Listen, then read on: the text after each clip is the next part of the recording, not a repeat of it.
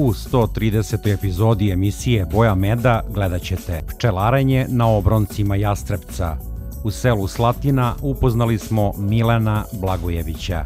Sledi rubrika Enciklopedija pčelarstva, u kojoj predstavljamo evropsku tamnu pčelu. O morfološkim i proizvodnim karakteristikama kranjinske pčele govori kruševački doktor pčelarstva Goran Jevtić. Ostanite uz Boju Meda i Agro TV.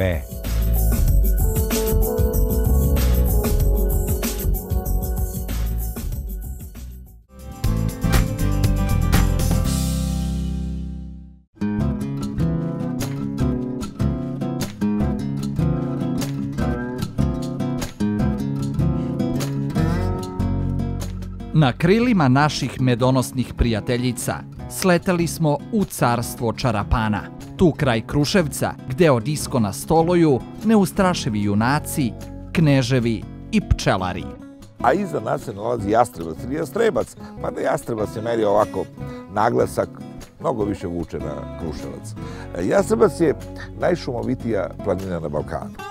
E sad, da li se tima hvaliti ili tim o tome ćutati, da ne nagrnu svi pa počnu da vam seku jastrebac. Dominiraju šume koje za nas pčelare nisu mnogo značajne, naravno dominira hrast i bukva, ali sam jastrebac je u principu veoma razuđen, tako da e, ima dosta dobrih mesta za pčelarenje.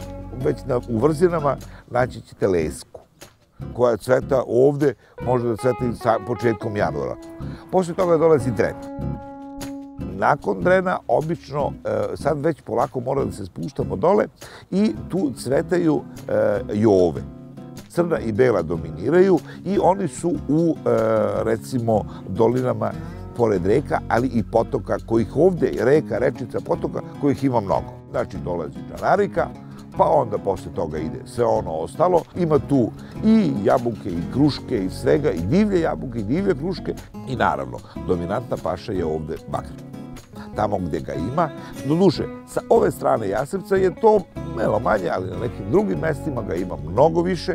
Jasevac nije poznat kao e, ovaj, neka livatska paša, jer jednostavno ima vrlo malo pašnjaka, ima vrlo malo livada. Ali ima dosta korovske vegetacije, pa ima i dosta lipa. Nažalost, lipe se sve više seku. Mi stvarno pravimo fenomenalne ovaj, ramove od lipe, koje prodajemo Francuzima, Nemcima i nekim drugima, a nažalost ovde koristimo uh, ramove od uh, topole, od vrbe i od nečeg drugog, a sve ono što je dobro ide. E, zato mislim da ovo poslednje vreme što smo počeli da radimo, a to je da dovodim, da donosimo i neke biljke sa strane, evodiju, može da se vide sofore, kejleruterije i sve drugo, može da pokriva onu pašu koja je posle oskudna u našim agroekološkim uslovima, a to je negde od juna, jula i u avgustu mesecu. Na tri lokacije gazda Milen Blagojević posjeduje više od 100 LR-ki i nekoliko Dadanblat košnica. Sledeće godine Veli slavit će deseti pčelarski rođendan. I sad ću da vam pokažem, ova je košnica spak broj 1 i ona je spakovana za zimu, negde oko 15 avgust. Evo ove su fine, mirne. Sad će malo da ih nadimimo pa da krenemo ovaj, u pregled ove košnice. Ja vadim po jedan ram radi ventilacije i nikada se ovaj ne obuđaju ramovi. E, evo ga prvi ram. Ovo je odličan, vidite koliko ima tu hrane. Sve je med zatvoren, fini. Evo ga i ovde ram sa leglom.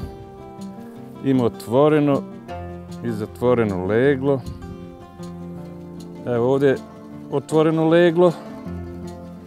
Ovde su zatvoreno i već izlaze. Evo, su, evo, evo izlazi jedna pčelica. Znači one već izlaze. To su lepe zimske pčele koje žive šest meseci. Eto, to je došlo odjednom. Pošto mi je otac iznena da preminuo, majka mi je bila bolesna, morao sam da je čuvam. I tako, bilo mi žao da se vraćam više odavde. Lepa je priroda, lepo to me povuklo. I onda sam razmišljao šta ću da radim. Pa mi je prva solucija bila ovčarstvo. I imao sam jedno 50 brava ovaca i da imam neku košnicu pčela. Međutim, vidio sam to, do 50 brava sam došao, vidio sam da ja to ne mogu sam da obrađujem, moji nemaju vremena i onda sam krenuo sa pčelarstvom. Tu mi je ovaj brat iz Trančare Toma, on pčelari dugo i ja sam ga pitao kako to ide, šta ja bi pčelario, ovo ono. I on mi čovjek predložio, kaže ne, u stvari njegov sin. I on mi je predložio, ja sam sa 22 košice krenuo. Pa znate kako, kad počnete pa ne znate, pojma nemate, pa se plašite, vidim jedno zvonče, ja mislim dobila rojevi nagom, pa ga zovem, trči, on mi se smeje, kaže. Znaš, kako pčelarima, ovaj, nisam dugo u pčelarstvu, ovaj, deseta godina, ali ova mi se čini nekako najgora. Evo ga ovdje isto jedan lep zatvoren ram sa leglom. Opa, evo je matica. Evo je matica, lepa. Lepa, krupna matica. Beži ona sad od sunca, se krije. Tu mnogo zavisi od, od mesta. To, recimo, 3 km može da se desi da se uhvati neka paša. Evo sad, recimo, ovaj moj brat u Trnčare, oni su ovde kasnije jedno dva, tri dana kasnije vegetacije. I znači on je uhvatio ona tri dana i ovde imalo tri dana, šest dana, tako da je uhvatio malo bolje. Imao je valjda negde tu do 10 kg. A ja ovde nisam, znači ovde kasnila vegetacija i kad krenu, ona krenula tri dana, posle toga udarile kiše, vruć vetar, vetar mu ga uništio totalno. Negde oko 5-6 kg sam ovaj, izvadio po košnici.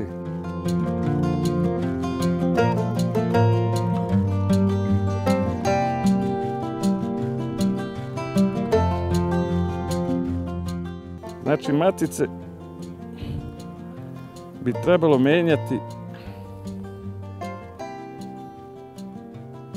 svake druge obavezno, ali može i svake godine. Inače, ako ne imaš dovoljno hrane, moraš u pola zime da ih uznemiravaš, da im daješ pogače ili šta je, pogače obavezno. To je nužno zlo da, da ne bi uginule jedne. Evo ga, odličan ram sa medom. Preko 2 kg ga ima sigurno. Evo dole perge, znači lep med zatvoren.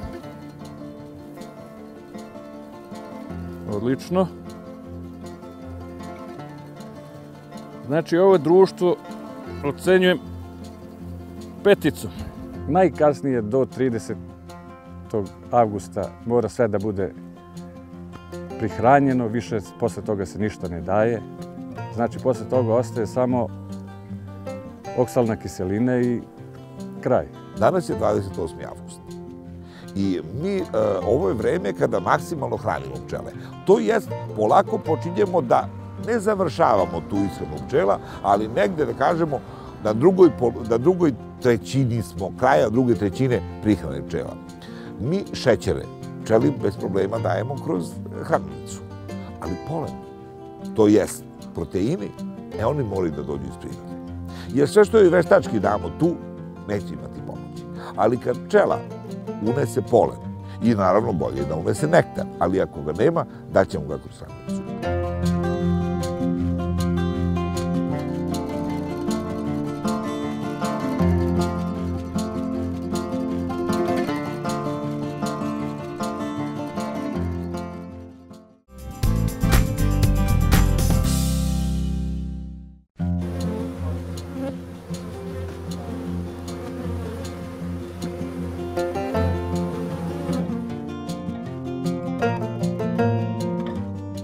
Rasa medonosnih pčela koju predstavljamo je tamna evropska pčela.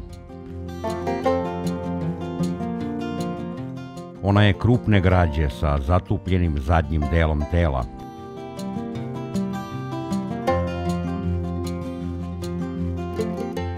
Jezik je kratak.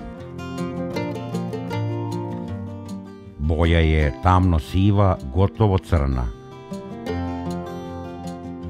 Odlikuje je veoma velika otpornost i izražena prilagođenost dugim i hladnim zimama.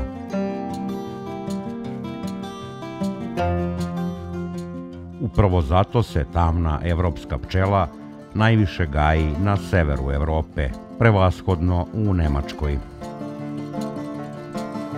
Tokom sezone razvija se u zajednice srednje snage. Taj razvoj traje do duboko u jesen, tako da tamna evropska pčela zimuje u jakim i brojnim društvima.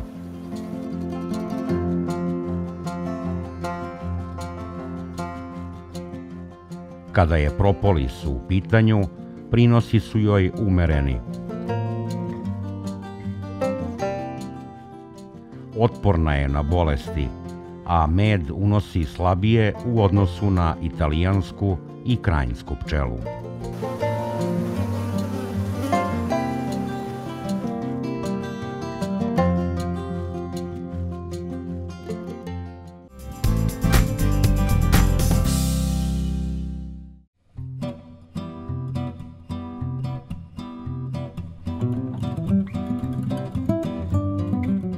Morfološke i proizvodne karakteristike naše medonosne pčele.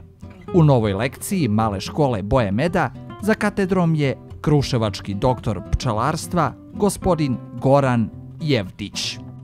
Ta medonosna pčela je, pored tamne evropske pčele, žute italijanke i sive kako se pčele, naj, ta rasa je u stvari najrasprostranjenija, da kažemo, na kugli ovaj, zemaljskoj. I definitivno spada u vrlo vredne pčele. E, njene neke osnovne karakteristike su izrazito jak i buran proletni razvoj. To naravno ima veze sa njenom genetikom. A šta je recimo od morfoloških karakteristika što je za nju značajno? Ona je tu negde, da kažemo, srednja. Nije tako krupna kao što je recimo to tamna ovaj, e, evropska pčela. Nije možda ni tako, nema ni tako dug, e, dug, dugu e, rilicu, pa recimo da možda može da oprašuje crvenu detelinu ili neke druge leguminoze. Zatim, što se tiče matica, ako uzmemo da, da je italijanka izrazito plodnija pčela, znači italijanka u, u, u, u špicu sezone leže između 2200 do 2500, karnika to ne može. Može od 1700 do, ajde, dve, pa možda neku stotinu jaja više. Ali kažem, ona ima taj izrazito buran proletni razvoj. I šta je još za nju mnogo značajno, to je ta izrazito značajna proizvodna karakteristika, a to je što zimuje u relativno, e, ne mnogo jakim društvima, neću da kažem slabim društvima. Zimuje u društvima koje imaju od 20 do 25.000 jedinki, 2 do 2,5 kg pčela. Dok recimo italijanka zimuje sa 3-3,5 kg pčela, pa joj treba mnogo hrane. Znači, i italijanka malte ne je dosta aktivnija, ali mi ne volimo da pčeli ostavimo mnogo hrane za zimu. Ostavimo joj malo, pa i to, to malo želimo još da smanjimo. Tu čak naša karnika i u, tom, i u tim uslovima uspeva da pregura, da prezimi zimu. A u proleće, što kaže profesor Kulinčević, ima izrazito buran proletni razvoj. To znači da ona u proleće, kad stigne voćna paša, tako brzo počinje da se obnavlja, zahvaljujući čemu? Očigledno, e, tome što maksimalno očuva svoje leglo. Znači, nema mnogo veliko klube, to što ima dobro pokriva, dobro ga neguje, dobro odgaji. Nema velikih gubitaka. U principu, e, pčela u to vreme živi duže od 40 dana, ali uspeva da dobar deo tog života potraje 42 dana. Recimo, ne desio se da odmah posle izletanja strada u mnogo razloga, kao što se nekim drugim, nego ona uspeva da sve te pčele se uspešno vrate i da maksimalno se uključe u negovanje legla. I tako da ona kad počne da se razvija, ona se brzo širi, brzo buja i vrlo brzo uspe da napuni košnicu. Znači, to je taj njen proizvodni, e, taj njen proizvodni potencijal koji je maksimalno korišten i maksimalno se iskorištava. I šta joj je još e, zanimljivo? Profesor Kulinčević je nosio naše matice u Sjedinjene države i ne možemo reći da je otporna prema varovi. Jer ne postoje pčele koje su otporne varovi, ali jednostavno postoji neka tolerantnost koja je kod karnike utvrđena čak i na varovu. Sad, da li je u pitanju negovateljska e, ovaj, osobina, da li je neka druga, u principu to je znači ono na čemu ona dosta, dosta bolja od nekih drugih. E sad, ne bez razloga govorilo se, za pčelu i neke druge životinje bolje je suša nego kiša. Jer u suši ona uspe i da izvuče nešto. Vreme kiše ona ne može. Znači, tu ne mogu da joj pomognu ni e, njene morfološke, ni proizvodne karakteristike. Jednostavno, morat će da se ili klima stabilizuje, ili da mi sami počnemo da delujemo, da odložimo to, to njeno sakupljanje, jer nama je dosta bio bagren glavna paša. Ako se nastave da budu ovako kišne godine, maj da bude kišan, pčela neće moći karnika i neće ni jedna druga moći. Grčka nije mnogo udaljena od nas, pa Solun je odavde 500, 570 km a, i mediteranska je klima i znamo, oni u martu vade med i posle toga u oktobru.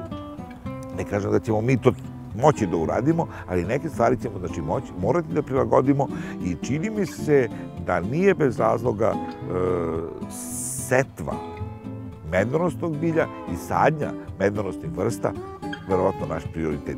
Malo sam otišao od morfoloških karakteristika, ali definitivno morat ćemo da joj pomognemo da ona može da iskoristi svoje proizvode.